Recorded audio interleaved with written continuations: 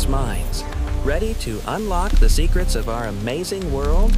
Let's get started. Have you ever wondered how dolphins see in the big blue ocean?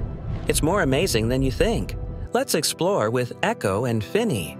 While dolphins have good eyesight, the ocean can be murky. Seeing far away can be a challenge. But dolphins have a secret sense.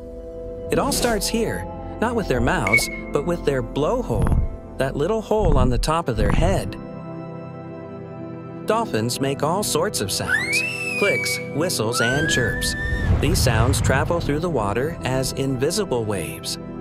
When these sound waves bump into things in the ocean, like fish or rocks, something amazing happens. They bounce back. Dolphins have special ears on the sides of their heads that are experts at listening for these returning echoes.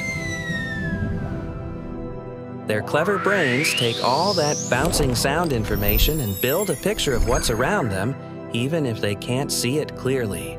This amazing ability is called echolocation. It's like having built-in sonar to find yummy fish for dinner. Echolocation also helps dolphins steer clear of obstacles in the water, even in the dark or murky areas.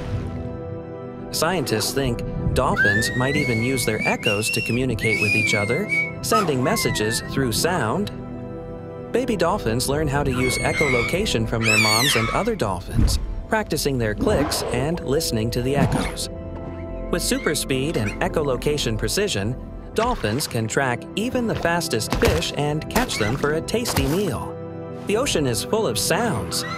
Dolphins have to be experts at listening to their own echoes amidst all the other noises underwater. So remember how it works. Sound goes out, bounces back, and dolphins Echo. create a picture with You're sound. Amazing, right?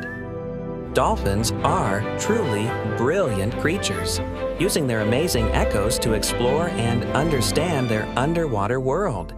Keep exploring the wonders of the ocean. If you like this video, like, share, and subscribe to Tender Intellects for more such fun videos.